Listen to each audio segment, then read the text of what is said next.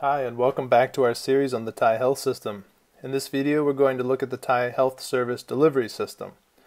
Throughout this video, we'll be looking at the ownership and distribution of the health infrastructure and workforce, the hierarchical organization of the public healthcare delivery system, the role of private healthcare delivery in Thailand, and the key players in public health services. Let's start by looking at the health infrastructure in Thailand. Overall, we can identify more than 35,000 sites that provide some form of healthcare services in Thailand. Now, I'm going to use round numbers here since they do change from year to year. But when we do that, we can see that the vast majority of healthcare sites are primary healthcare providers. There are more than 25,000 private primary care sites. These private primary care units are split nearly equally between medical clinics and pharmacies. Medical clinics are generally health clinics run by medical doctors offering specific services. So, for example, an obstetrician may have a fertility clinic, a surgeon may have a cosmetic surgery clinic, a pediat- pediatrician may have a pediatric clinic, and a dermatologist may have a beauty clinic. As primary care clinics, they're most commonly providing services such as diagnosis, follow up, medicine distribution, or minor outpatient procedures. They're also commonly, but not always, run by doctors that work in the public sector and then they moonlight privately. What that means is they have their so called 9 to 5 job at the public hospital and then operate in a clinic in the evenings and weekends. Pharmacies are quite ubiquitous and must be run by a licensed pharmacist. In both cases, these private clinics provide an avenue for doctors and pharmacists to earn substantial income beyond their base salaries especially for doctors, most of which work in the public sector, this source of income is substantial and allows doctors to be one of the highest earning and highly respected occupations in Thailand. Thailand also has nearly 10,000 so called health promoting hospitals or HPHs, which I'll talk more about in a few minutes. Um, these are primary care units located all over Thailand and they have complete geographical coverage. They're owned by the Ministry of Public Health, or in some cases, the local government. When we look at hospitals, which are health facilities that have beds for inpatient services, most hospitals are public. Again, for the public health infrastructure, Thailand has complete geographical coverage with a public hospital in every district. And there are around 400 private hospitals in Thailand, with the majority located in major cities, uh, with many in and around Bangkok. Looking at hospital beds, we can see that the Ministry of Public Health, which is the main public healthcare provider in Thailand, has consistently maintained about 70% of all hospital beds in the country. When we include other governmental institutions, such as military hospitals or other state agencies, we see that the Thai government is the primary healthcare provider with around 80% of all hospital beds. So let's take a look at how that public healthcare delivery system is organized. The organization of the public healthcare infrastructure is tightly organized around the administrative organization of the country. Now, as a quick refresher, the entire country is divided into about 77 provinces. Each province is then divided into districts, and each district is divided into subdistricts. Then, within each subdistrict, there are villages or communities. So, starting at the village level, we're talking about around 300 to 1,000 people in a village. Almost every village has a suksala or health center. And this is particularly true in rural areas, but not very relevant in urban areas or major cities. And this health center is not a staffed place. It's going to look something like this. It's basically a meeting place where health staff from outside the village can hold events, such as diabetes screenings or giving out health education. At the village level, the key healthcare personnel are the village health volunteers and the pharmacist. Village health volunteers, or VHVs, are community health volunteers, are critical to Thailand's primary health care. VHVs are people who live in a village, typically older than 60, who volunteer and receive a small monthly stipend of around 1,000 baht. Their job is to look after around 10 households in the village, and they might check in on those households from time to time and encourage them to get medical services if they have a problem. They also are critical for recording health statistics, like births or deaths, and for helping implement health promotion activities that are organized at the subdistrict level. And as residents and neighbors of the community, it's very natural for them to do these things. When we move up a little, we get to the subdistrict. A subdistrict generally has around 5,000 people in it, and at every subdistrict across Thailand, there's a health promoting hospital or HPH. So that means there's more than 9,700 HPHs in Thailand. But don't let the name fool you, it's not a hospital. There are no beds and no inpatient services. It's a primary healthcare unit focused on community services.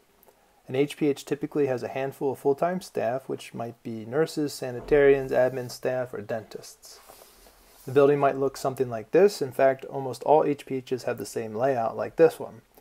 The primary duties of an HPH include screening for diseases, some basic diagnoses, immunizations, and first aid.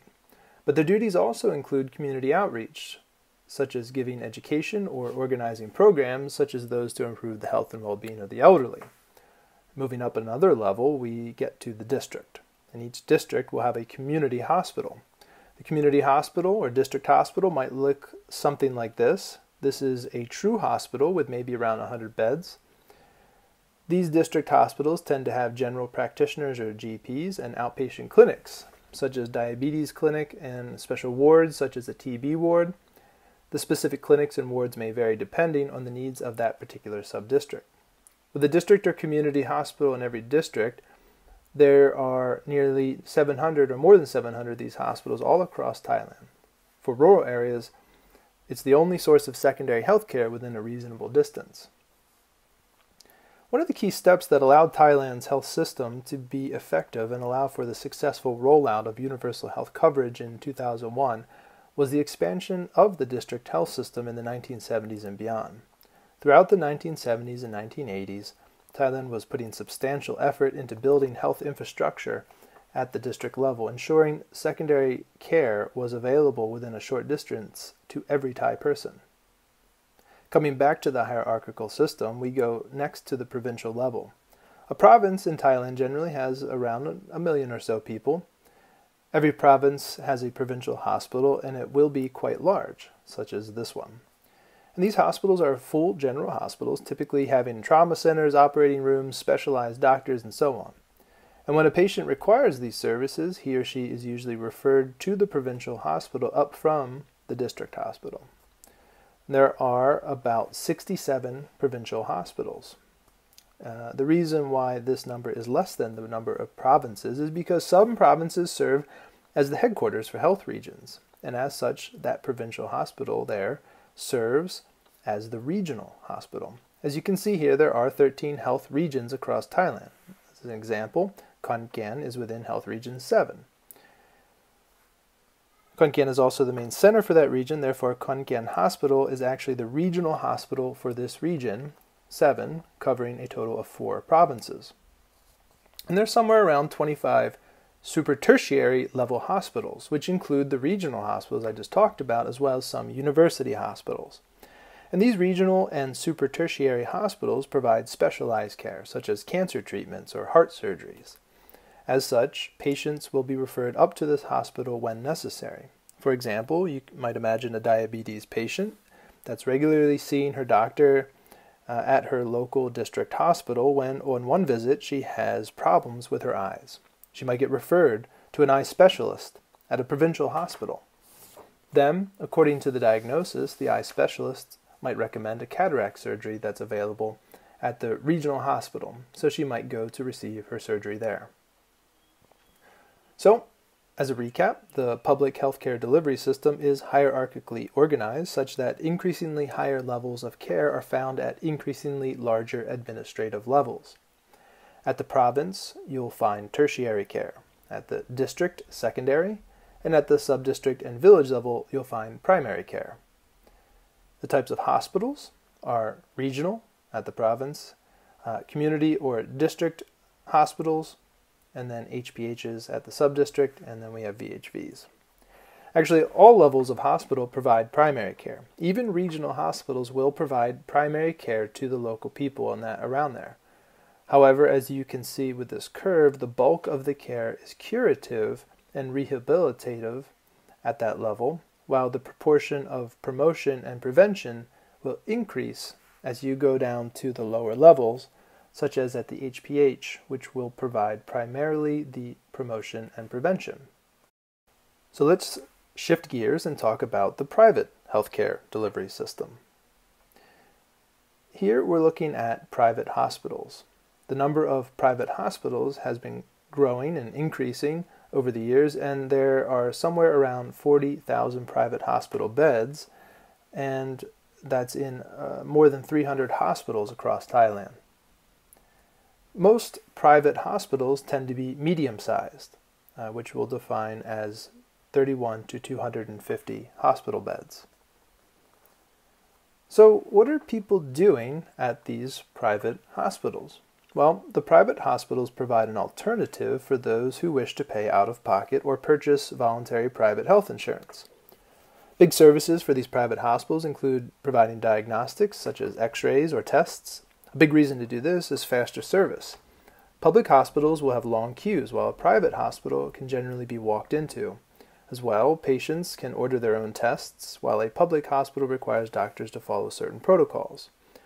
Another big reason patients choose to go to private hospitals is for pediatric services.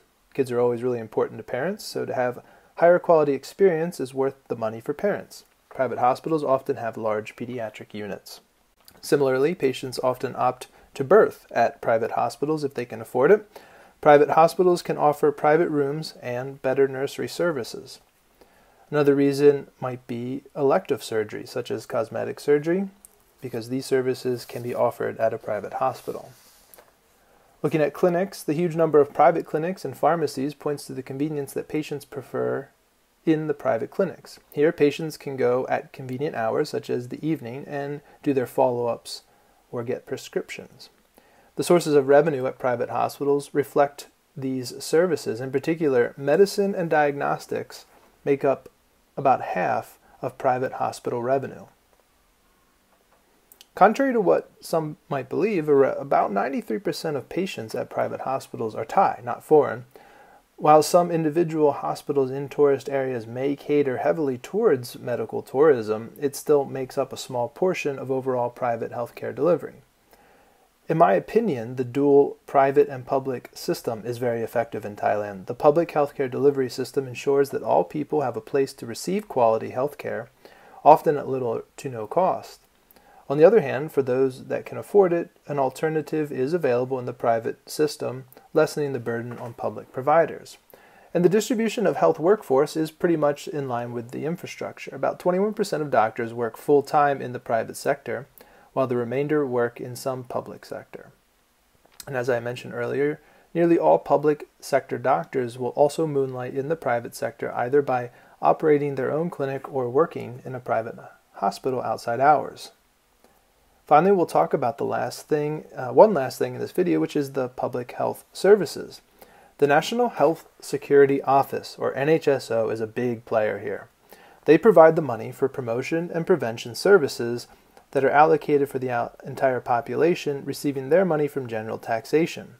And they allocate money for prevention and promotion services to the contracting units for primary care, or CUPS. And that primarily makes up a district hospital or an HPH, and they also will get some money from the Ministry of Public Health. In addition, each subdistrict has a local health fund, which is also funded by the NHSO.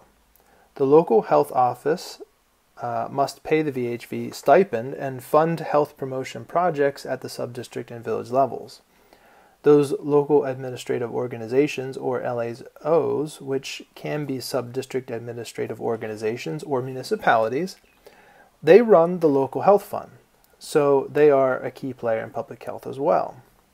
So, in short, the two key players for funding and administrating public health services at the local level are the district hospitals and HPHs and also the LAOs. The key actors who execute public health are the HPH and VHVs, and the key sources of funding for it is the NHSO and LAOs. The last thing I'll mention about public health service is the Thai Health Promotion Fund. Thai Health, or SAW SAW SAW, receives an earmarked sin tax on alcohol and tobacco. This tax results in Thai Health having a pretty substantial budget each year. They use it to create public health media, such as posters or TV ads. They also open the funding up for proposals from academic, governmental, or NGO groups to do their own health promotion activities. They have a great website, so check it out. And that's it for this video. Please check out other videos in this series on the Thai Health System.